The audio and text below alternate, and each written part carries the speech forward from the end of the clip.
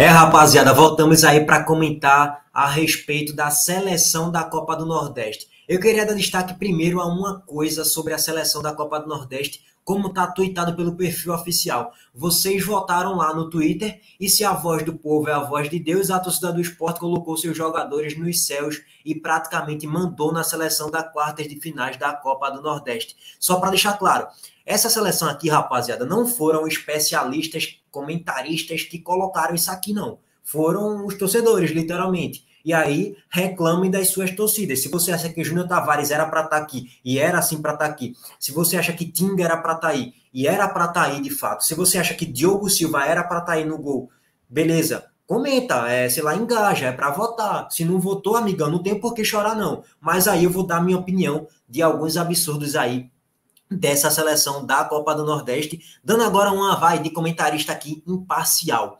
Primeiro, o primeiro absurdo é, o Fortaleza meteu 5 a 1 na Copa do Nordeste, foi o time que mais fez gols nessa quarta de finais, é o time que tem a maior quantidade de gols na temporada aí, né, na, na Copa do Nordeste, e foi e foram só três jogadores na seleção.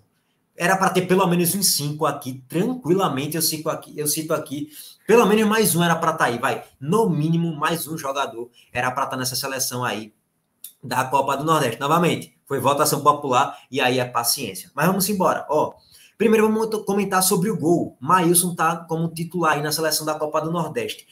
Ah, irmão, e aí, Maílson foi mal? Foi? Não, pô. A atuação de Maílson foi nota 10 foi seguro durante os 90 minutos, todas as bolas ele defendeu bem. Quando foram, foi mais exigido na finalização de Gabriel, ele defendeu bem pra caramba. Nas penalidades, três pênaltis defendidos, foi o decisivo, foi o craque da partida, foi bem pra caramba, nota 10 para Maílson. Só que aí tu vai fazer a comparação com Diogo Silva.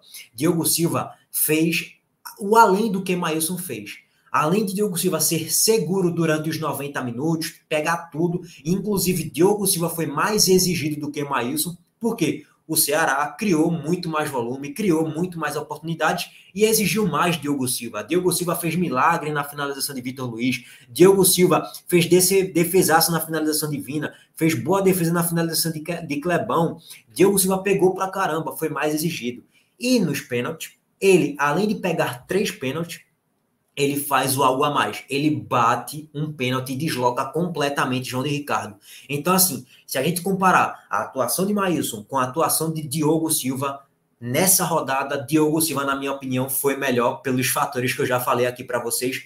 Foi mais exigido, foi seguro nos 90 minutos e nos pênaltis, além de fazer a mesma coisa de Maílson nas defesas, ele foi e foi além, né? Literalmente, ele fez um gol ali, deslocando o João Ricardo. E por isso, para mim, Diogo Silva merecia estar nessa seleção aqui.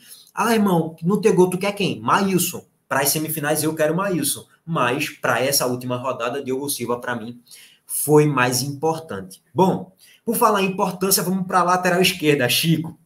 Rapaziada, é, Júnior Tavares fez o gol aos 44 do segundo tempo e fez o gol que classificou o Náutico para as semifinais. Senão a gente nem estaria tocando aqui no nome de Júnior Tavares. O Náutico se classificou para as semifinais da Copa do Nordeste. E Júnior Tavares foi muito mais, muito mais, muito mais importante do que Chico no setor de lateral esquerda. Então, para mim, é um absurdo Chico estar tá aqui. Esse, para mim, é, é um dos pontos ali que eu, de fato, não consigo compreender muito. Chico fez um bom segundo tempo, sim, mas o primeiro tempo dele tomou várias bolas nas costas e os jogadores do CSA, principalmente Marco Túlio, criou perigo por ali. Chico não fez um bom primeiro tempo, então enfim, é votação popular, gente, só para deixar claro, mas eu estou dando minha opinião aqui do que foi votado.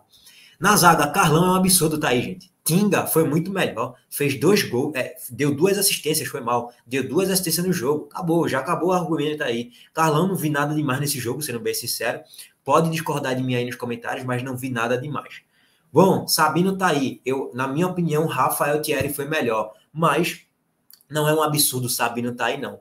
Eu acho que talvez o trio titular ali seria Rafael Thierry, é, Tinga e Sabino, por exemplo. Bom, na lateral direita, rapaziada, primeiro que assim, Pikachu, ele tá colocado no, na ala esquerda, não tem nada a ver, ele nem joga por ali, ele joga mais no setor da ala direita. Eu colocaria particularmente Pikachu aí, deu assistência, tirou uma bola em cima da linha, é, e Ezequiel, para mim, fez um, um segundo tempo bem instável é, levou duas bolas nas costas, Num cruzamento na área, ele escorregou e o jogador do CSA ficou sozinho para cabecear dentro da grande área e Maílson teve que fazer uma defesa. Então, assim, é, Ezequiel teve um cruzamento ali para o Búfalo, mas nada de grandes coisas. Foi uma atuação ali, nota 5,5 para Ezequiel, 5,5, 6. Nada muito além disso. É, então, Ezequiel não merecia estar tá aí. Eu colocaria Pikachu aqui para lateral direita. Hércules e William Oliveira, é, eu acho que aí é incontestável. O William Oliveira, partidaça. Inclusive, eu falei, ó, contra o CSA é para jogar com o William Oliveira. Ele é mais volante do que Ronaldo, de marcação, né? É, o William Oliveira tá aí merecido, o Hércules fez gol, tá aí também merecidaço, beleza, é incontestável. Jaderson, gente, Jaderson é a questão da escassez, talvez. Comenta aí se tu colocaria algum outro jogador no lugar de Jaderson, sei lá, um Moisés da vida ou outro jogador aí.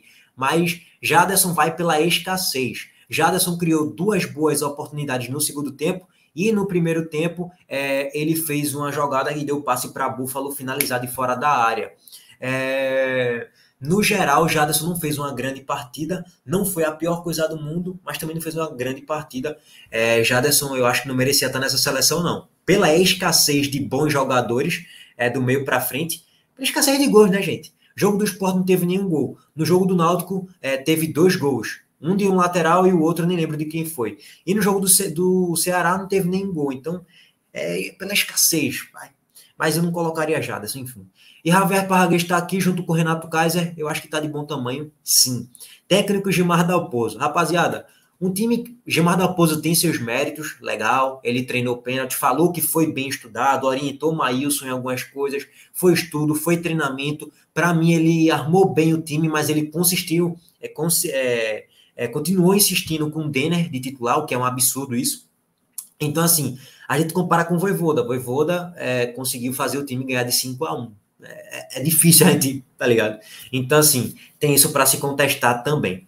Beleza? Bom, essa foi minha opinião, rapaziada. Não sei se tu concorda comigo ou discorda. Comenta aí o que é que tu viu.